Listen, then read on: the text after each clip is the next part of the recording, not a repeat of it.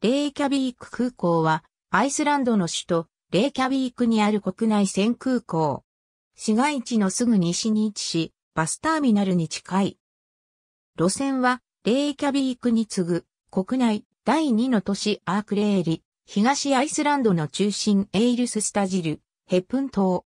フェロー諸島やグリーンランドに向けた一部国際線も就航しているが、大部分の国際線は、レイキャビークから西に 50km ほど離れたケプラビーク国際空港が利用されている。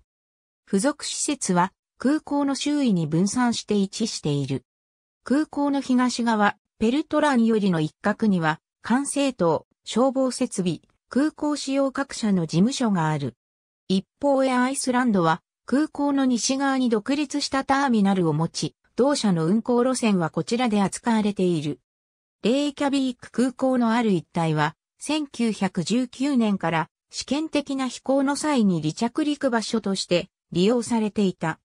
1940年にはアイスランドに侵攻したイギリス軍により本格的な施設が整備された。戦後、施設はアイスランド側に引き渡され、空港として利用されている。ありがとうございます。